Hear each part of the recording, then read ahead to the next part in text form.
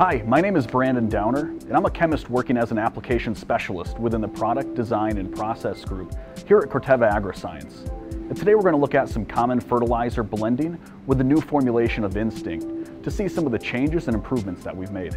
For this test, we're going to see how our new product blends on straight urea prills. We're going to be doing this test at a field rate of 200 pound urea per acre with our standard use rate of our product being 24 ounces per acre. Since we're doing this on a lab scale, we're just going to use a standard horizontal blender. We're going to do this on a 10 pound scale. So I've already weighed out 10 pounds of urea. We'll just add this to the blender.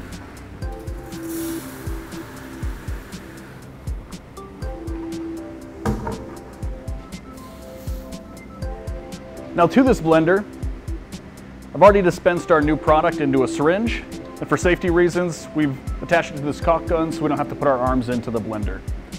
Once I begin the blending, I'll dispense all of the product into the urea, and we'll let that um, go ahead and mix for about three minutes before evaluating.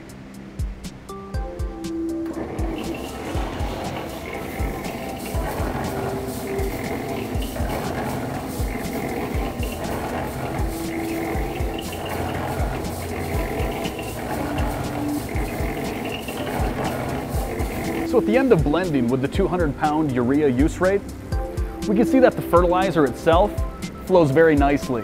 We don't see any clumps in any of the material. And the product itself isn't sticky.